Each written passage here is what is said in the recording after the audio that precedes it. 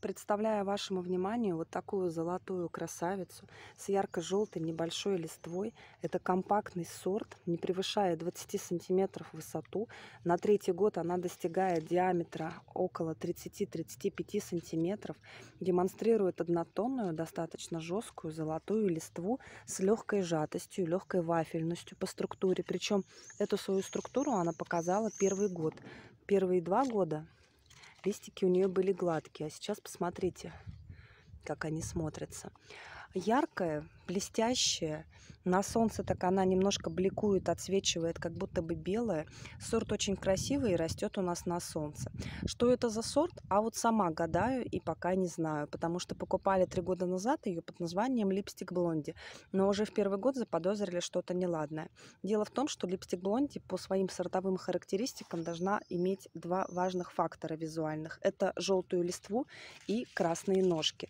Но в первый год красных ножек мы не увидели хотя не стали отчаиваться. Решили, что, ну, возможно, а, все свои характеристики сортовые она в силу возраста не может продемонстрировать, и ножки закраснеют потом в перспективе. Но ни на второй, ни на третий год красноты мы этой не заметили, хотя это очень важный фактор.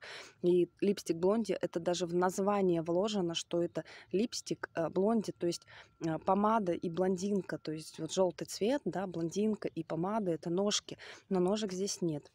К тому же она у нас а, не показывала морщинистые листья, вот только первый раз в этом году, на третий год ее жизни мы это заметили. А, до этого она была абсолютно гладкая. При этом еще очень важный фактор, липстик блонди, она вылезает ярко-желтая весной, но потом в течение лета она начинает зеленеть, а, переходя через череду оттенков лаймовых, шартрезных и вот уходит уже в зеленый цвет. Наша же хосточка делает ровно наоборот. Сначала она появляется пастельно-лимонного цвета и потом она начинает, причем довольно быстро, переходить в яркий желтый насыщенный цвет. Причем она это делает на солнце.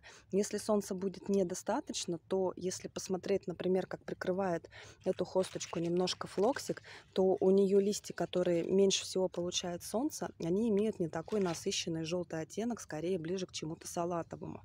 Но вот у нас такой вот неопознанный золотой объект на участке образовался. В общем-то, я довольна, потому что хоста весьма красивая, неприхотливая, достаточно быстро растет.